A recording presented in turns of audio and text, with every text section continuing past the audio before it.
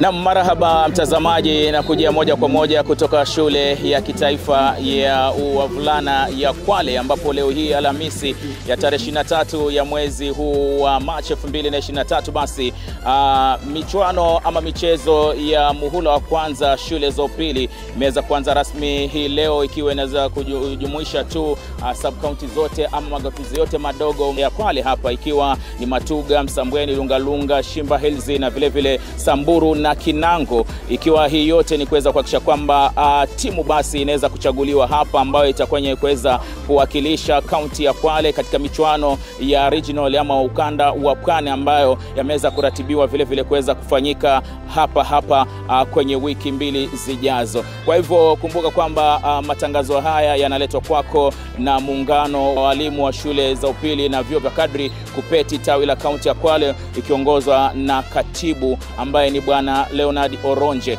na kuna michezo mbalimbali ambayo inaweza kuchezwa siku hii ya leo ikijumuisha riadha e, mita alfu kumi ambayo ni matembezi yale wanasema walking race, na vile vile kuna mbio fupi za mita mia mbili sawia, na vile vile kutakwako tu na michezo mbalimbali. Mbali. Kuna mchezo wa vulana wa magongo wanasema hoki, na kwa sasa kinachoendelea ni kwamba shule ya wavulana ya Mkwakwani inaweza kupambana na shule ya Kinango ikiwa wanaweza kukutana kwa mara ya kwanza, lakini kama unavyokutazama hapo nyuma ni kwamba sasa hivi ni shule ya wavulana ya Lungalunga wa Kikabanako na shule ya Mwavumbo ikiwa ni mchezo wa handball. Kufikia sasa uh, ni kama Lungalunga wanakuwa ni wenye kuweza kuongoza katika mashindano haya. Mbali na hayo, kuna mchezo ule wa raga wachezaji 15 kila upande mchezo huu utakuwa ni wewe kuweza kufanyika katika shule ya wavulana ya St.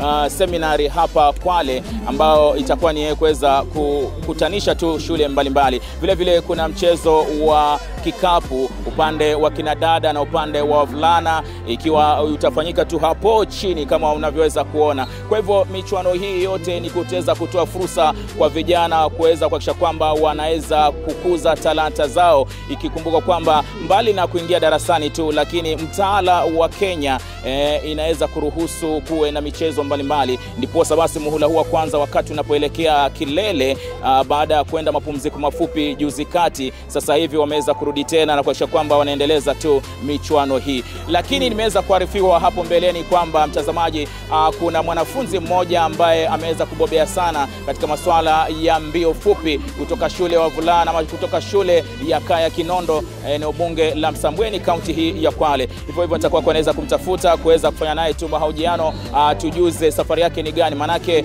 uh, tunapozungumzia riadha nchini watu wanazungumzia tu kutoka bonde la Ufa eh, ikiwa ndo ambao wanaweza kusifika sana na kuweza kuipeperusha bendera ya kitaifa katika ngazi za kimataifa, lakini hapa kaunti ya Kwale tunaye mwanafunzi ambaye ameweza kuwa ni mwenye kuzungumziwa sana ama amekuwa gumzo uh, kutokana na weledi wake na kasi yake katika mbio za mita mia mbili.